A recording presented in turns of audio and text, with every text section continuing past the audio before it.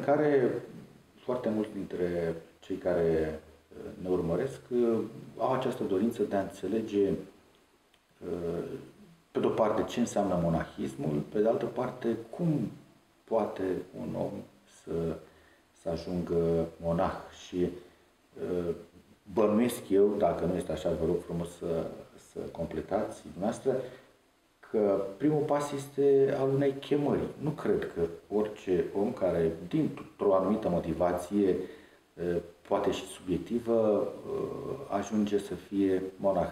Cred că la bază este o chemare, este un semnal pe care până Dumnezeu îl dă cuiva despre care știe că poate să, să urmeze această treaptă a unei nevoințe. Deci ce se întâmplă? Intrarea în monahism sau călugăria nu e o meserie. Deci e o chemare. Chemarea înseamnă e o chemare tainică de la Dumnezeu, sub o formă sau alta. Deci la fiecare om e diferit. Dar este o chemare. Că dacă tu te duci în mănăstire, dintr-o decepție, din ceva ai făcut în viață și fugi ca să scapi de lucrurile alea, toate astea nu poți să o duci până la capăt. Au fost cazuri rare în timp, să zicem, oameni care au făcut diferite prin societate, s-au retras, își stând în mănăstiri, cunoscând după aceea viața monahală, să se schimbe, chiar să trăiască viața monahală. Au fost cazuri din asta. Dar, în general, e o chemare, viața monahală. E o chemare la Dumnezeu care vine tainic. Și în momentul în care o primești, atunci renunți la totul. Deci, adică nu mai stai și te împurci, că stai să mai pun la punct nu știu ce lucruri. Deci, imediat, adică renunți la toate. Deci e ceva de la Dumnezeu, e un dar care îl dă Dumnezeu și îți dă și o putere atunci, indiferent situația care o ai în lume sau așa, adică renunți la totul. E chemarea lui Dumnezeu. Și în mănăstire de asta și dacă vii chemarea asta în mănăstire, deci trăiești frumos, te bucuri, încă tu ai venit din toată inima. Și este perioada asta în monahism, perioada de încercare, care este o perioadă, să zicem, la unii Sfinții Părinți, cam așa în mare, o pusă să fie de trei ani, perioada asta. Ca să ai timp să vezi și tu ce înseamnă viața monahală, să o trăiești și să te cunoască și cel mai mare de acolo, să vadă. Ești pregătit pentru așa ceva și după aia să primești călugăria. Dar nu e în timp limitat. Poți să înceapă de la 2-3 ani, cum a spus, și poți să stai ca începător și 10 ani și mai mult. Până simți că ești pregătit, pentru că călugăria nu ți se dă. Călugăria se cere. Deci tu ai venit în mănăstire, ai văzut cu ce să mănâncă, cum se spune, poți face față, te poți dărui toată viața și atunci ceri tu la cel mai mare. Vreau și eu să fiu călugăr, vreau să mă călugăresc. Și de asta atunci când vii în fața Sfântului Artar, să se pun niște întrebări acolo. De bună voie ai venit aici? Și de bună voie, cinstite părinte, nesili de nimeni, nesili, nu din o nevoie sau ceva, nu, de bună voie și ce dorești? Dorești viață puznicească, viață, cum se spune acolo, și vei păzi toate astea și îți spune acolo ce trebuie în viața monahală. Voi, așa cu ajutorul lui Dumnezeu, cinstite părinte. Deci toate astea, adică din libertatea proprie. Și atunci, când ți-ai asumat lucrurile astea și ai primit călugărie, după aia lupți. Că nu, nu înseamnă că nu o să ai războaie, nu o să ai tot felul, dar ți-ai asumat de bunăvoie și atunci lupți, dai înainte până la capăt. Deci, cum am spus, e chemare. O să ajungem și la lupta da. pe care o, o duce monahul, dar uh, înainte v-aș mai întreba câteva lucruri. Unul uh, dintre ele este uh, decizia, este legat de decizia pe care o ia monahul și anume despărțirea de lume. Uh, privit din exterior poate părea o hotărâre foarte dură, însă cum, deci nu-i dură cum poate deloc. fi Da. Deci ce, cum am mai revin iarăși la chemarea asta. Când vine chemarea, deci toate devin foarte ușor. Deci renunți, știi cum poți să ai tu, sunt cazuri care au lăsat averi întregi, au părăsit, au fost chiar și părați care s-au trezit ăștia cu dispărut împăratul, nu mai este și nu mai știu ce s-a întâmplat cu el. Și s-a aflat pe ani de zile că au ajuns călugări nu știu pe unde și în nevoință mare puznic sau așa mai departe. Deci când vine chemarea lui Dumnezeu, dispar toate greutățile astea. Nu e o greutate, o faci cu drag. Deci ca și cum dai o greutate din spate jos toate bunurile astea care, să zicem, le ai în lume, deții, ca și cum ai da o greutate din spate jos și ești liber și fugi, te duci și continui viața asta. Avem cazul Sfântul Sava, care de la Hilindaru, el a fost fiul de împărat. Fiul era împăratul lui Serbiei. Și-o renunțat la toate, a venit în Sfântul Munte să o facă călugări. Taic s-a mai încercat, băi, fiule, vin acasă, trebuie să-ți lasă împărăția, să conduci țara. Și atunci el a scris o scrisoare atât de frumoasă cu Harul Dumnezeu tatălui său, deci împăratului, încât ăla când a citit scrisoarea, o căutat pe unul care să lase în urmă, l-a pus împărat, o renunțat la toate și a venit să facă călugăr și el în Sfântul Munte. Și o lua numele de Simion, la mănăstirea Hilindaru, și când a trecut el din lumea asta, mormântul lui o izvoră mir, izvora mir și vindeca oamenii. Deci la atâta simțenie a ajuns împăratul. Și nu numai, până în zilele noastre, vă dați seama, de atâtea sute de ani, o crescut mormântul lui într-o stâncă. Deci nu are pământ, nu nimic acolo, o crescut o vie, care au crescut foarte mare, atât de groasă, crescută nu e alimentată cu apă niciodată, e din stâncă, și strugurii ceia îs pentru femeile care nu pot să facă copii. Și care ajung la mănăstirea Hilindaru sau scriu acolo la mănăstirea Hilindaru, le trimite două, trei bobițe de struguri acolo cum au și eu rânduial acolo să scrie ce trebuie să facă și foarte multe cazuri femei care au rămas însărcinate. Deci, de la unul care a fost împărat, cum se spune, și a renunțat la toate. Nu i-a fost greu să renunțe. Deci când e Harul lui Dumnezeu și e chemarea, devine foarte ușor. Nu e un chin lucrul ăsta de spărțirea de lume. E ceva plăcut, e ceva ușor. Te duci și te apropii mai mult de Dumnezeu. Se poate spune că este o, o renaștere a, a omului. Monahul renaște, deși el păi, continuă să trăiască în Exact asta spune și la Sfinții Părinți moare omul vechi și se naște cel nou. Deci vă dați seama, omul vechi, adică cu toate astea ale lumii, după el, cu toată încărcătura asta, cu patim, cu astea, și se naște altul nou. Deci când spunem altul nou, nu înseamnă că gata, s-a terminat, nu te mai luptă patimile. Dar se naște altul nou, adică o iei de la zero. te-ai spovedit. După aia călugăria, când zice ca și cum ar fi un fel de a botez, este călugăria, adică intrarea asta, ciodată se naște altul nou, zice ca și cum ar primi un botez, asta călugăria. Ei, și se ia de la zero. Ai început o viață nouă, fără griji, fără nimic, te-ai dăruit ascultării. Și ascultarea asta, tu nici nu mai ai răspundere în fața lui Dumnezeu. Dacă ai făcut ascultarea după Dumnezeu, în care te-ai supus, ce ți s-a spus, îți păzești mintea, te spovedești, duci o rânduială, tu deja, adică, ești, cum să zici, în brațele lui Dumnezeu, că tu ți-ai dăruit voia ta lui Dumnezeu prin ascultarea care o faci în mănăstire. Uh, vorbind despre ascultărie, vedeți, mulți care nu, mulți oameni care nu cunosc, nu, nu vor să cunoască da. detaliile da. acestei, uh, acestei lucruri pe care Dumnezeu o face cu unii oameni, uh, văd în monah un om care nu are niciun fel de problemă, uh, participă la, uh, la lucrările, uh, la, la viața bisericească, se roagă și cam atât. Adică este un, un om care trăiește cumva un soi de viață voiamă. Și expresii de gen, e, ce știu ei călugări, că ei stau acolo, sunt liniștiți, se roagă la Dumnezeu, nu au niciun fel de grijă. E, în contextul ăsta, poate ar fi bine să spuneți ceva despre ascultări, despre cum arată Auziți, viața... Auziți un lucru, cum spun mulți, ce știu ei? Și totuși, gândiți-vă, uitați, hai, aici în Atos ajung mai puțin, dar la mănăstirile din țară, câți oameni cu problemele din lume nu se duc și cer rezolvarea de la călugări? Sfatul în problemele lor. Foarte mulți, tocmai asta fac, cu toate spun că ce știu ei. Dacă e o problemă mare, tot acolo se duc și cer sfatul. Deci ce se întâmplă? Și în cadrul ăsta călugărul, ce se întâmplă? Vedeți și într-o mănăstire. O mănăstire mare zicem cu 100 de călugări. Și trebuie o organizare foarte bună acolo. Să o luăm așa, în planul ăsta chiar ce ține material, cum să zic, administrativ. Deci trebuie organizare cel mai... Nu vezi dacă unul, îmi vin mulți, mi se plâng, că doamne am 10 angajați și nu mai scol la capăt cu ei, unul vrea așa, nu? Cât e de greu în lume, să zicem. Dar într-o mănăstire, gândiți-vă, că sunt 100 de oameni veniți formați diferit, din diferite locuri, nici unul nu are nicio treabă cu celălalt, să spunem. Doar scopul același mântuirea Hristos. Și fiecare să luptă la rândul lui, să-l rabde pe celălalt, să-l îngădui pe celălalt, să devină el mai bun. Deci duce o luptă continuă. Dar lupta asta devine ușoară pe cu ajutorul lui Dumnezeu. Când încredințăm lui Dumnezeu cu toată inima, adică nu impui, impun voia mea, egoismul meu. Nu, întotdeauna aici lupta de a ceda în fața celuilalt. Și atunci devine ușor lucrul ăsta.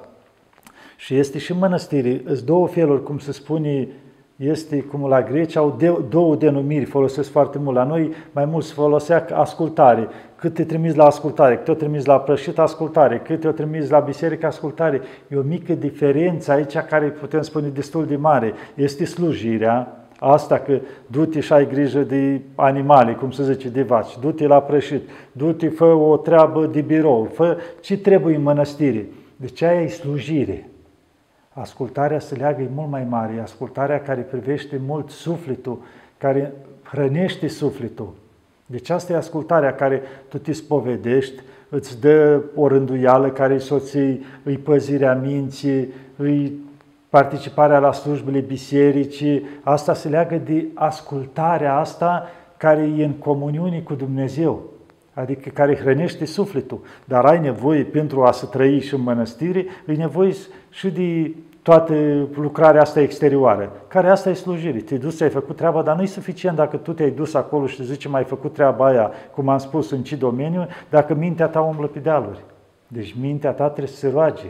Este ascultarea asta care, cum se spune, duhovnicească, care mintea se roagă, mintea gândește cele bune, adică e combinația din munca asta, slujirea cu ascultarea asta, care în comuniune cu Dumnezeu, care ne hrănește sufletul și ne întărește și te mergi mai departe. Că dacă lași mintea să o iei și în călugărie pe arătură, cum se spune, atunci și munca aia îți devine o povară. Dar dacă mintea se roagă, l-ai acceptat pe Dumnezeu, ai acceptat totul cu tot sufletul, devine ușoară. Tu nici nu-ți dai seama când ai făcut munca, pentru că mintea e în legătura cu Dumnezeu. Cum arată o zi din uh, viața unui monah? Foarte frumos. Deci, în ce fel te trezești cu Dumnezeu? De ce spun lucrul ăsta? Vedeți că slujbele se încep de noapte. cum zice, la prima ora dimineții din noapte, prin întuneric, la alții la trei noaptea, la patru noaptea să încep slujbele, aici în Sfântul Munte. Deci tu cum te-ai trezit, slavă ți Doamne, apă pe ochi și te-ai dus la biserică. Ai început cu Dumnezeu de dimineață. După să faci slujba, participă toată lumea la slujbă, cu utrenia, cu liturgia. Foarte mult accent se pune aici Sfântul Munte, Sfânta Liturghie, legătura cu Dumnezeu. Toți participă la Sfânta Liturghie. În fiecare zi. În fiecare zi, da. Și pomenim ce se pot, pomenicile, toate astea. Și după aceea te retragi și te mai odihnești. O oră, două, un pic, ca să, după posteneala asta, și după aia cele necesare, că avem și noi nevoie să întreținem ce avem aici, să faci fiecare, cum se zice, slujirea care o are. Unul la bucătărie, unul la trapeză, unul mai face prin exterior, cu grădina, cu avem și un pic de grădină, sau cu florile, sau cu tot ce se poate în jurul casei, sau diferite, mai împletesc unele lucruri, rucodele, cum se spune din asta. Deci fiecare își face treaba lui, până ajungi și masa, toți împreună, masa se citește cuvânt la masă frumos, după aceea, iară, să mai faci un pic de treabă, după amiază este un pic de retragere, are două ore înainte de vecerni, care fiecare altul se roagă, altul se odihnește, un pic de liniștire, cum se spune, și după aceea, de la 5 la 6 vecerni, o oră, după aceea, bineînțeles, că na, vedeți, mai vin închinătorii care vin, participă și ei, le asigur masa și lor când vin, așa, după aceea, seara, ați văzut, ce să mai poate aici, în jurul începe răcoare, puțin frumos, liniștit, fiecare până este de la 6 când se termină vecenia până la 7 jumate când e pavecență, este o oră jumate care un pic dedicată, să spunem așa, și închinător. Le asiguri masa, li mai spui un cuvânt, mai cer un sfat, ceva, până începe pavecența. Când e pavecența la șapte jumătate, să scos Sfintele Maște, să închină oamenii și pe să retrag fiecare la liniște. Un capitol foarte important al vieții monahului, cred că este rugăciunea pentru cine se roagă monahul? Se roagă doar pentru cei care îi, îi cer în mod direct sprijinul sau se roagă cumva pentru... Deci monahul și nu numai monahul, deci și toți preoții care fac, se fac slujbe peste tot în lumea asta, se roagă pentru toată lumea. Ați auzit la ectenie când spune preotul, la toate slujbele este ectenia, care ne rugăm pentru cei în călătorii, pentru cei în necază, pentru cei în suferință, pentru cei care suntem datori să ne rugăm pentru dânsi, pentru cei care ne-au poruncit să ne rugăm pentru dânsi, pentru cei care ne iubesc, pentru cei care ne urăsc, adică pentru toată lumea. Intră acolo sectenele pentru toți. Permanent se roagă permanent. Și rugăciune personale, în primul rând, că lucru cere mila lui Dumnezeu pentru el. Și apoi se roagă și pentru toți ceilalți. Monahii sunt în prima linie, să spunem, în acest război cu duhurile rele, cu duhurile demonice. Uh, noi putem înțelege foarte puțin și poate că este bine așa, nefiind pregătiți să gestionăm o astfel de luptă. Vorbiți-ne puțin despre acest uh, război nevăzut care este mult mai important peste orice am gândit noi ca fiind încercare comună. Știți ce se întâmplă? Deci oricât ai vorbi, niciodată unul din lume nu poate să înțeleagă într totul lucrul ăsta. Exact ca și cum îi spui la cineva de un lucru că e dulce, de el nu gusta niciodată dulcele.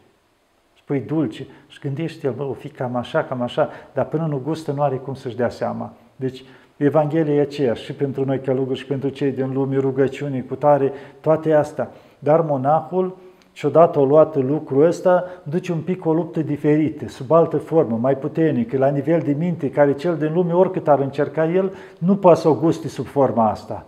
Și de asta, adică oricât ai explica lucrul ăsta, e greu de înțeles. Deci foarte mult la călugări e la nivelul minții lupta cea mai mare. Neavând contactul atât de mult cu lumea cum este în exterior, atunci la nivelul minții foarte mult. Și atunci fiecare depinde cât se luptă, cât reușește să-și mențină mintea în legătura cu Dumnezeu. Pentru a, și atunci devine și mult mai liniștit, duce lupta mult mai ușor, adică să și bucure, cum se spune, de tot ce e frumos în jur. Deci duce, putem spune, și eu aș putea să-i numesc așa, să mă scot pe mine din joc, să zic așa, pe monahii, cei mai fericiți oameni de pe pământ. Adică pentru că mulți zicea săraci, nefericiți, trăiesc acolo. Dacă trăiești cu Dumnezeu, care este sursa binelui, a fericirii, de ce să fii adică nefericit? Ai momentele de luptă, de cutare care treci, nu zicem nimeni, dar ai momentele alea că guști o bucurie care nu poți să oferi lumea. Revenind iarăși la, la momentul în care cineva, un tânăr sau o tânără, ia decizia să urmeze calea monahală. La început, familiile din care provin nu sunt neapărat foarte încântate. Însă, binecuvântarea pe care o aduce Dumnezeu acelor familii este imensă. Se spune în, în tradiția noastră că un, un monah, printr-un monah se pot mântui mulți. Da, așa spun Sfinții Părinți, că până la al șaptelea neam, dacă duci o viață cum trebuie, că tot îi vine greu când pleacă unul în mănăstire.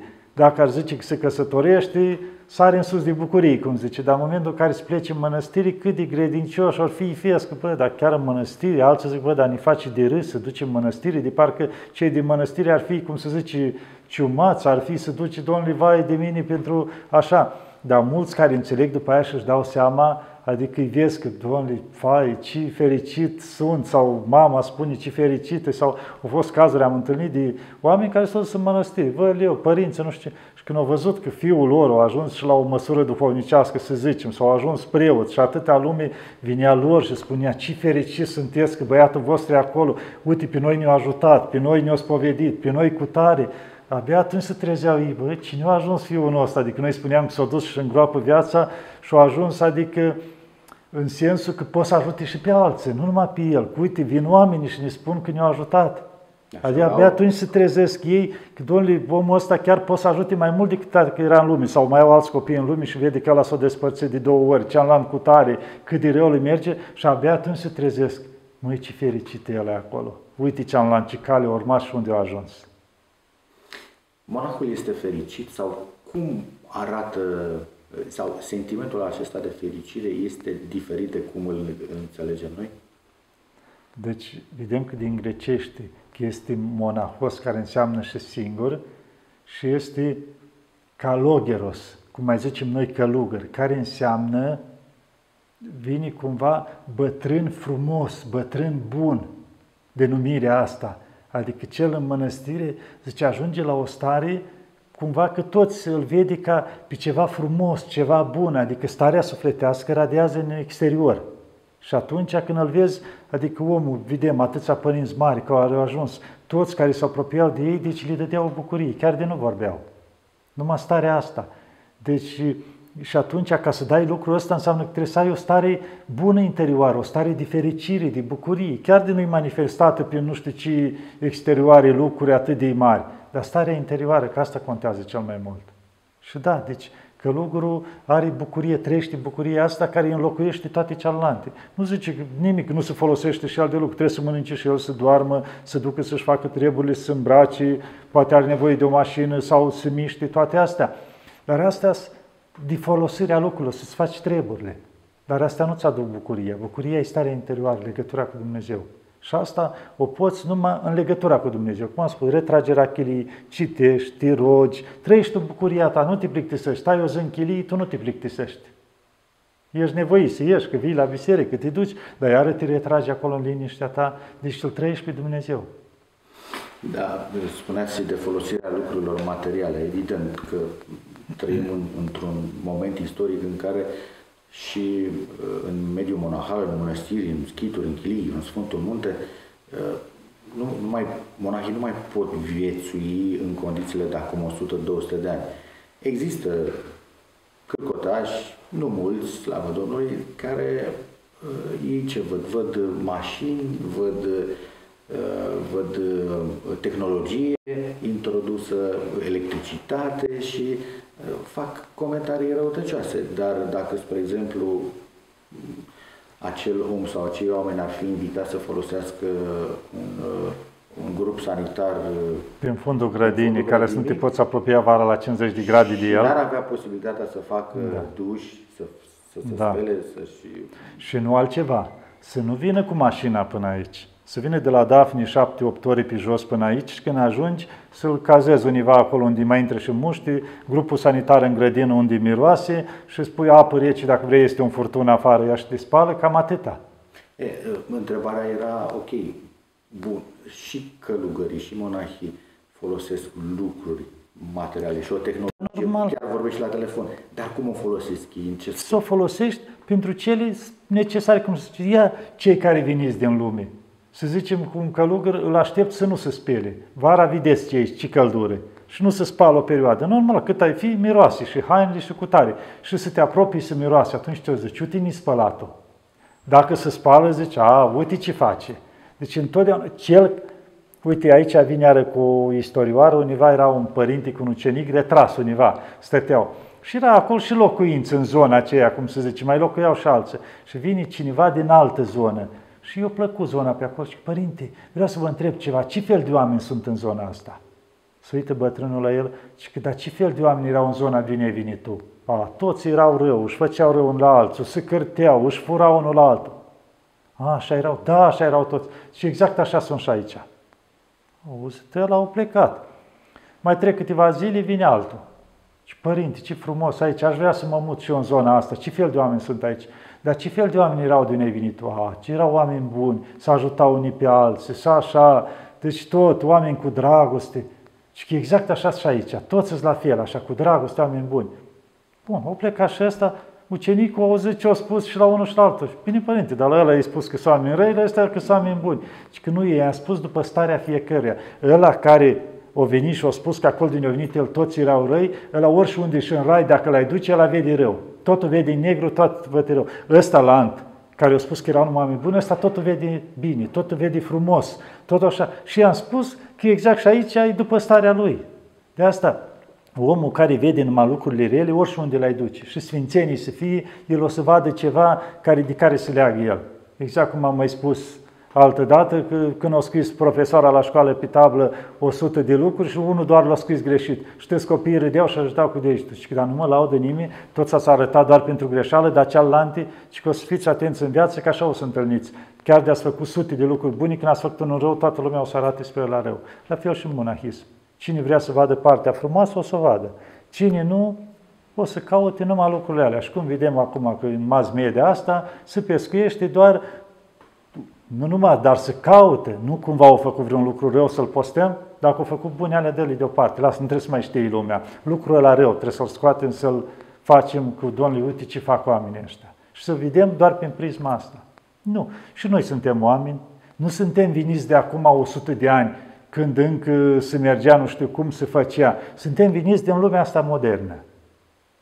Deci se renunță la lucrurile alea, dar necesarul ai nevoie aici. Și atunci noi trăim la nivelul ăsta ca să-ți faci cele necesare. Să fii, adică, Doamne, să fii spălat, să fii curat, să fii în biserică, adică să fii curat, aerul proaspăt, să fii, totul să fie exact cum trebuie. Adică omul care vine să fie liniștit, adică în afară de rugăciune și nu să, să nu-l afecteze nici starea asta. Îi dai o cameră, un pat curat, frumos acolo, să vadă că e aerisit, curat, are o baie, dacă vrea face și un duș, adică omul vine să simte bine. Și partea odihnă trupească vine și sufletească la rugăciune, la biserică și pleacă liniștit. Adică nu sunt pedici de anumite lucruri. E treaba lui mai departe ce face. Că dacă el vrea să vadă exact cum zice bondare ăștia care văd numai mizeria și gunoi, asta le văd. Dacă vrea să vadă ca albina numai flori, o să vadă numai flori. Exact cum venise cineva la cuviosul Paisie, parcă, și a venit el și s-a uitat el prin dreapta, în stânga și a venit la cuviosul și părinte, dar mă așteptam și eu să văd oameni aici care fac minuni, virtuți, și nu știu ce și uită la el, dar tu ce crezi că virtutea e atârnată ca, ca rufile în dafne la soare, la uscat, să o vezi tu? Ceea care se nevoie stau ascunși, retragi, nu să ies în față, spui, domnule, cât postesc eu, cât mă rog, ce nevoință fac. Nu o să arate nimeni lucrul ăsta. Da, foarte frumos, foarte frumos ați făcut legătura și cu următoarea întrebare legată de oamenii ascunși, oameni pe care uh, nu-i vedem, niciodată, poate că și monahii îi întâlnesc rar, nu chiar deloc, și aici mă refer la sihaști, la cei călugări care aleg o retragere totală. Uh, se spune despre ei că prin viața curată pe care o duc sunt cei mai aproape, așa să spunem, de, de lumea de dincolo, pentru că retragerea lor nu înseamnă decât o, o apropiere și mai mare de lumea către care cu toții tindem. Uh, ce, prin, prin ce este diferit uh, Sihastru? Ce face el suplimentar, să spunem, față de... Deci toți cei care au ajuns în în liniștea asta, retragerea aproape totală sau totală din tot ce este contactul cu lumea, sunt cei care au trecut prin ascultare, prin mănăstiri, ani de zile, 10, 20, 30, adică au trecut prin toate, au gustat viața asta, cum zice monahală, prin toate felurile, s-au nevoit, au făcut ascultare și au ajuns la o stare de liniște din asta. Și în legătură cu duhovnicul, așa, măi, tu poți să-ți menții starea asta, adică de rugăciune, tot timpul nu te afectează dacă te retragi undeva. Că sunt unii care nu rezistă, retrage la pustie, stă o perioadă și vede că nu mai face față, se retrage, dar sunt că au ajuns la stări înalte și atunci se retrage și trăiește numai rugăciune cu Dumnezeu. Deci asta nu e pentru oricine. Sunt tot, exact cum se spune, cei care au ajuns la o stare mult mai așa, că se poate să mențină legătura cu Dumnezeu și aceea ajută mult, exact cum spunea cu Viosul Paisie, iară revin, zice, ei sunt ca niște faruri în munți, după care se orientează corăbile de pe mare. Domnule, acolo e cu tare, e cu tare. Chiar de sunt în munți. De ei sunt un fel de ghidare, să ghidează lumea după ei, după rugăciunile lor, după așa, ajută foarte mult. Cum spunea univa, citeam pe la nu știu ce filocalii, că zice, la timpul ceala existau trei stâlpi în lume care țineau lumea cu rugăciunea lor. Adică câtă putere are un om de ăsta retras, care nu are contactul cu lumea, dar trăiește în rugăciune. Deci foarte mult. Dar astea sunt cazuri rare care se retrag după rânduiala lui Dumnezeu, care au ajuns la stare înalte, care nu stau în mănăstire și își văd rânduiala lor și se luptă după putere. Ce putem uh, folosi noi din experiența monahală? Noi, oamenii obișnuiți, da. Ce putem? Multe. Să o luăm așa, deci în primul rând, mi-amintesc de cineva, un verișor de-a meu, care era în lume, o trăit funcții mari, o trăit și el de toate, așa, și l-am întâlnit odată, chiar mai la început, după ce m-am dus pe o serie de ani din Atos și l-am întâlnit. Nu prea a avut el contact atât de mult cu Dumnezeu. Ducea și el la biserică, dar așa, își trăia și viața, cum se zice. Și mi-a plăcut gândirea lui. Deci, nu a judecat nicio clipă cine ăsta monahal sau cea. Și, doamne, eu vă apreciez și pentru un sigur lucru și să purtați barbă, părul lung, care te mănâncă, trebuie să o speli. Hainele astea, vara, când e căldura aia mare, domnule, eu mă dezbrac, mă duc, stau la plajă, și voi să purtați lucrul ăsta, și că ar trebui să vă mântuiască Dumnezeu numai pentru lucrurile astea, plus celelalte ce mai faceți voi, dar numai pentru că eu nu le-aș putea face, zice, niciodată lucrul ăsta. Și să mă ții pe mine îmbrăcat în negru, vara, căldura aceea, cu barbă, cu părul lung, cu asta, și sub nicio formă, dacă mai tai celante, zice, mai norocit cu totul. Zice, eu doar, zice, apreciez însuși lucrul nu mă interesează ce faci sau altceva, dar însuși lucrul ăsta și că ar trebui Dumnezeu să mă mântuiască pentru astea. Adică omul care vrea să vadă lucru bun, chiar mă uitam, diferiți duhovnici în țară, am trecut în mănăstirea Siăstria, erau părinți, zicea, gândiți-vă, un bătrân care are și el neputința trupului, e greu. Erau părinți la 70 de ani, la 80 de ani, care spovedeau lumea toată ziua. De dimineață până seara el stătea, nu ieșea din chilie. Și nu avea toaletă ca să spui în chilie. Trebuia să ies afară și să duc univa când avea nevoie, la nu știu câte ore, când mai putea. Nu mâncau până seara ca să poată. Și vinea lumea fiecare cu încărcătura lui și spovedea și el făcea răbdare acolo cum e taia mâine, l-asculta o oră cât spunea ăla, după aia îi dădea sfaturi, îl dezlega, vine altul lua de la început. Câtă răbdare trebuie la un om? Deci la puterea lui omenească face lucrul ăsta. Deci ar trebui să ne minunăm de oamenii ăștia care stau și spovedesc cum sunt. Ai, nu mai retrași aici, dar în lume. Știți ce înseamnă lucrul ăsta? Trebuie un har de la Dumnezeu, adică să te ajute, să stai o zi întreagă să povedești, să asculți toate nebuniile. Altul vine cu una, cu altul, altul mai are probleme, poate și la cap, tu stai și ascultă Ești acolo, ascultă, dă și sfatul, roagă-te în mintea ta să-ți dea Dumnezeu sfatul. Sunt, uite, și în București, cu părintele de la Paraclisul Catedralei, Părinte Ciprian. Păi e lucru ușor să stai tu toată ziua acolo, să vină fiecare problemă lui dintr-o capitală unde s-a atâtea nebunii, să vii permanent și tu stai și fără răbdare. Mulți se judică, a, nu știu ce, cu tare. Dar uite, lucrul ăsta, deci așa spun și eu, ar trebui Dumnezeu, să, el chiar de nu mai face nimic altceva, numai stă și ascultă să-L mântuiască pentru lucrul ăsta. Deci sunt lucruri care nu se văd așa, zice, ce mai face și ăla acolo? Dar pune-te tu în loc, că tu nu poți sta jumătate de oră fără telefonul ăla să mai butonezi pe el. Sau văd de oameni vin aici, așteptă ziua omului pe afară, păi, dar aici nu-i semnal, zic, nu este. Bă, leu, să agită, nu rezistă mai mult, o zic că n-au semnal. De ia să te pun eu să stai telefonul și să spun să asculți problemele altora, să te vedem cât reziști. Adică sunt niște lucruri că dacă ai privi în adâncime ce face un preot, un călugăr care stă în fața lumii sau așa, adică omenește nu poți să faci. E numai cu Harul Dumnezeu. Deci ar trebui un pic să privim și partea, să ne punem în locul Lui.